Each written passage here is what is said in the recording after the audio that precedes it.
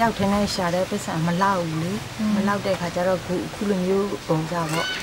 တက်ဖို့အစီအစဉ်ဆွဲရပါတော့ဒါပေမဲ့အားငယ်တာပေါ့နော်ကို့မှာအလုံးမရှိဘူးဆိုတော့လေတိမ်ငယ်တာပေါ့နော်ကိုလည်းအဲ့လိုမျိုးပဲသူများလိုမျိုးရှာခြင်းတယ်လေအဲ့လို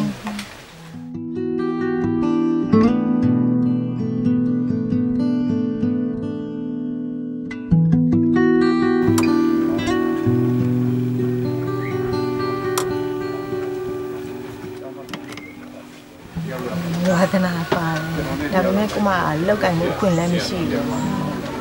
နော်ညီတဲ့အချီဝါကိုမတက်ခင်တော့အဲ့လိုပေါ့တော့ဖြားနာတွေပါတွေကအစပေါ့နော်ကိုအခက်ခဲရှိတာပေါ့နော်နောက်ပြီးတော့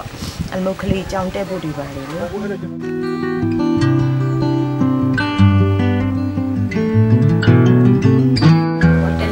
ချာလေးကျမတို့ဒီဘယ်လိုပေါင်းတင်ဆက်ဆံမလဲပေါ့နော်ဒီလူတယောက်ကိုကိုယ့်ရဲ့စီးပွားရေးအတွက်ပေါ့နော်ကိုယ့်ရဲ့စာဝတ်နေရေးအတွက်ဘယ်လိုဆက်ဆံလဲဆိုတော့ကိုနားလဲလာတာပေါ့နော်အခါကျတော့ကိုနားလဲတာအဲ့လျောက်လူတွေကကိုယ့်ကိုစားကြတာပေါ့နော်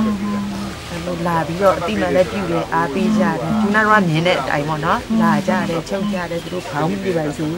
ဘောကခြေတောက်ရှိတဲ့ဟာတွေဆိုလဲလာပြီးတူဖို့တွေပါပေါ့နော်သူတို့ခိုင်းရဲလာတာပေါ့နော်အရင်တော့ဆိုရင်ကိုယ့်နဲ့ကိုယ်ကြတော့သူတို့မခိုင်းရဲဘူးလေအဲ့လို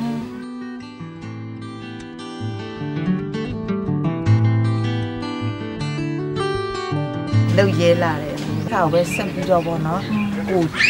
ကျွမ်းကျင်တဲ့ကျွမ်းကျင်အောင်ကိုပြုတ်လုပ်ပြီးတော့ပေါ့နော်ကိုဒါပဲနဲ့ပဲအခြေချသွားမှာပေါ့